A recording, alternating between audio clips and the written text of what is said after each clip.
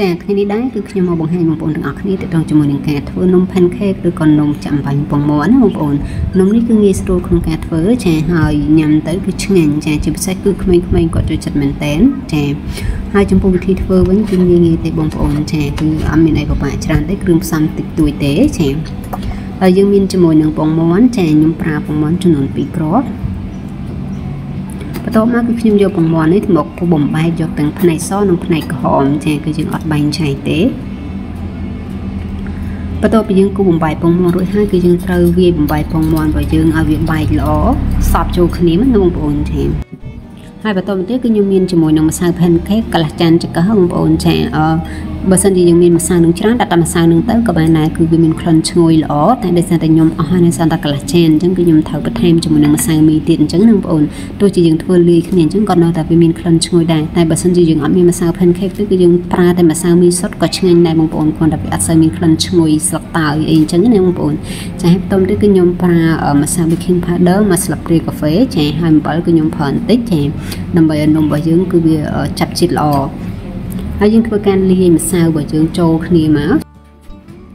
ចាហើយបន្តមកទៀតគឺខ្ញុំមានជាមួយនឹងទឹកដោះគោជាទឹកដោះគោនេះបងប្អូនអាចប្រើជាទឹកដោះគោស្រស់ឬក៏ទឹកដោះគោខ្លាឃ្មុំកំប៉ុងក៏បានដែរចាតែសម្រាប់ខ្ញុំគឺខ្ញុំប្រើទឹកដោះគោកូនក្មេងទេដោយសារតែកូនរបស់ខ្ញុំក៏ទាញ៉ាំនំនឹងអញ្ចឹងគឺខ្ញុំអត់ប្រើដោះគោស្រស់ទេ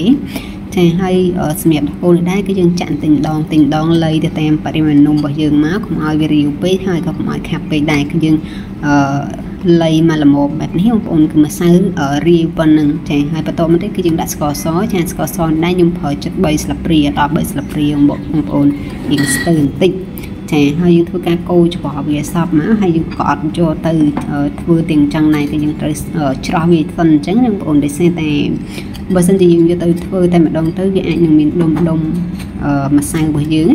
អញ្ចឹងនំរបស់យើងក៏វាអត់សូវល្អដែរពេលដែលយើងធ្វើមកអញ្ចឹងយើងត្រូវការច្រោះអញ្ចឹងមកដើម្បីឲ្យសាច់ម្សៅរបស់យើងវាម៉ត់ល្អនៅពេលដែលម្សៅរបស់យើងម៉ត់ល្អយើងធ្វើនំទៅក៏វាល្អដែរចាហើយបន្ទាប់មកគឺខ្ញុំរក្សាទុកកន្លះម៉ោងចាបន្ទាប់ពីខ្ញុំទុកបានកន្លះម៉ោងក្រោយមកឃើញថានំរបស់ខ្ញុំរៀងឡើងហើយអញ្ចឹងខ្ញុំអាចយកនំហ្នឹងទៅចាក់បានហើយបើសិនជាយើងធ្វើភ្លាមភ្លាមហើយយើងចាក់ភ្លាមភ្លាមនំរបស់យើងគឺវាអត់ប៉ោងល្អទេបងប្អូនចា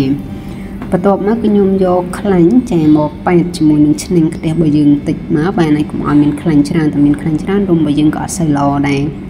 វាពណ៌អត់សូវល្អអញ្ចឹងបងប្អូនឲ្យយើងចាក់តាមអ្វីទេ ចាហើយយើង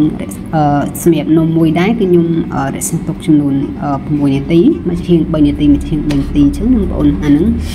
យើងមើលទៅតាមជាក់ស្ដែងទៅតងជាមួយនឹងភ្លើងចាហើយការប្រើប្រាស់ភ្លើងផងដែរគឺយើងអត់សូវប្រើភ្លើងខ្លាំងទេគឺខ្ញុំប្រើភ្លើងទាបមែនតែនចាហើយយើងបន្តធ្វើអញ្ចឹងរហូតដល់តែហើយមក ចាហើយការធ្វើនំនេះដែរគឺពិតជាសំខាន់មែនទែនទាក់ទងជាមួយនឹងការប្រើប្រាស់ភ្លើងបើសិនជាយើងប្រើប្រាស់ភ្លើងមិនសូវបានត្រឹមត្រូវទេចាយើងប្រើខ្លាំងធ្វើនំឲ្យយើងខ្លោចអត់សូវល្អទេអញ្ចឹងពេលដែលធ្វើបងប្អូនព្យាយាមធ្វើដាក់ភ្លើងហឹមហឹមទៅគឺបានទេចាហើយម្សៅដែលខ្ញុំបានផាញ់បងប្អូនពីដើមនេះគឺខ្ញុំអាចធ្វើនំនោះបានចំនួន7ប្រទេសណាបងប្អូនចាហើយនំរបស់ខ្ញុំគឺឡើងល្អល្អមែនទែនចា ធ្វើបដាកូនខ្ញុំទាញញ៉ាំបដាដែលសិនគាត់ចូលចិត្តញ៉ាំនំនឹងមែនតែនធ្វើភ្លាមគឺគាត់ញ៉ាំអស់មកប្រទេសបងប្អូនចាអញ្ចឹងខ្ញុំមិនអាចបង្ហាញបងប្អូនទាំងអស់គ្នានំទាំងអស់នឹងទេចាអញ្ចឹងគឺនំនឹងបាត់ខ្លាយចាហើយបើសិនជាបងប្អូនពេញចិត្តវីដេអូនេះកុំភ្លេចចុច Subscribe នៅ Channel YouTube ក៏ដូចជាចុច Like Follow នៅ Facebook Page របស់នាងខ្ញុំម្នាក់មួយផងចាអរគុណបងប្អូនទាំងអស់គ្នាសម្រាប់ការតាមដានទស្សនាវីដេអូមួយនេះតាំងពីដើមរហូតដល់ចប់ចាំជួបគ្នានៅវីដេអូក្រោយទៀតជម្រាបលា